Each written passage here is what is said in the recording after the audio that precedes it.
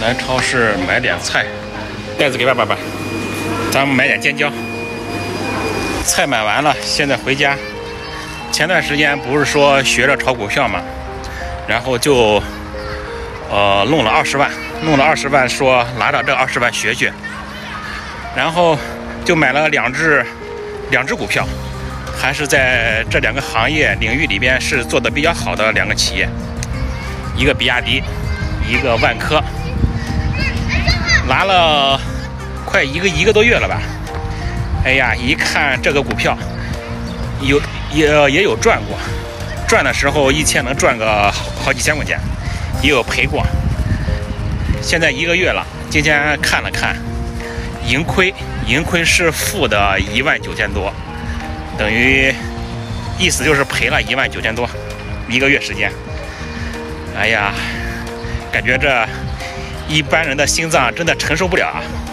等会儿回去跟小月说一下。这么大的事，也应该让他知道。菜买回来了，外面太热了，咱们是不是得把空调开开呀？今天下雨，我感觉还行呀。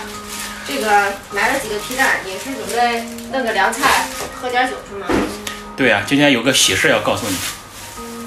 赶紧说呗，好消息的话，你还在这儿 磨磨蹭蹭的。媳妇儿，嗯，告诉你个事儿，什么事儿？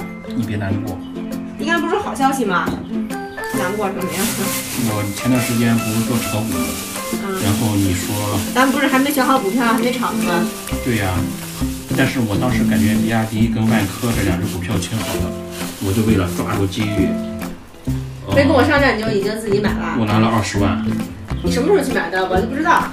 网上直接可以买，我拿了二十万，然后进去，到现在盈亏负的一万九千多，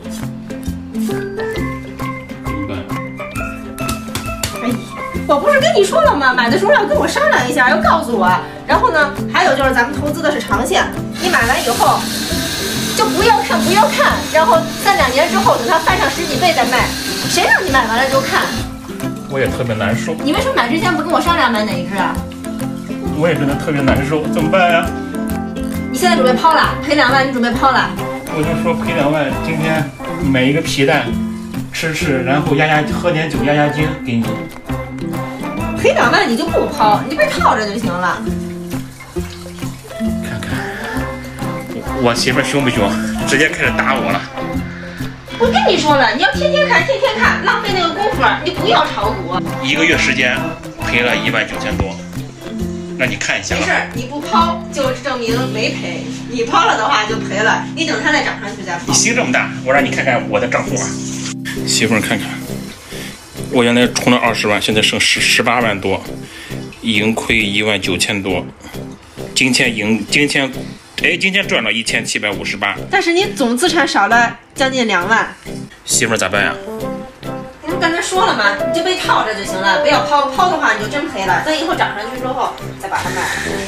你也能不能以后买东西之前跟我商量一下，买哪个买哪只啊？你也太好了，让你再看看，模拟交易。这是你下的那软件弄着玩儿的。对，模拟交易这个资产是虚拟的。你看你啊，花时间还玩假的。你知道我为什么玩假的吗？因为我感觉直接把钱投进去，万一赔了，你就是那个不怪我，我心里也特别难受。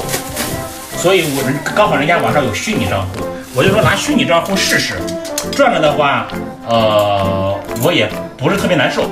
赚了还不是特别难受，赚的你也没什么可高兴的，因为是假的，对，然后赔了的话，我会我会特别庆幸哦你。也不怎么心疼。对，幸好是虚拟的。如果真金白银的话，那亏两万块钱，确实还有点心疼，因为我买到高位了，把我但这个套住了。没什么意义，它都是假的，你赔了赚了都是假的，还浪费了你的时间，你这跟打那个网游有什么区别呀？其实我我我买了之后，我也没怎么看，就是我就是一般一个礼拜大概看一眼，我也不不说看来看去的呀。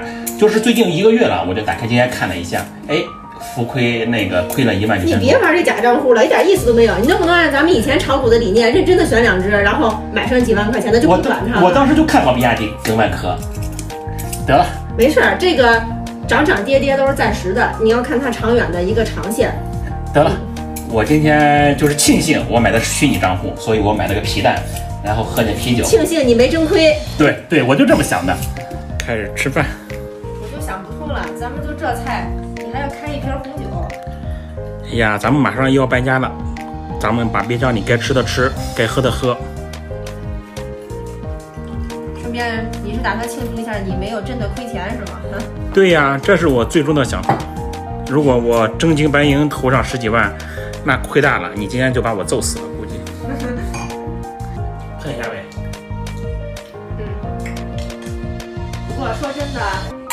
你下次动真格真买的时候，能不能提前跟我说一声啊？不要自己悄悄做主就买了。我肯定，如果动真格的话，我肯定会跟你说。如果那万一赢了还行，万一赔了，那你岂不是老说我？还有就是做长线，你别想着是买了以后一两个月之内，天天的每个星期的经常看。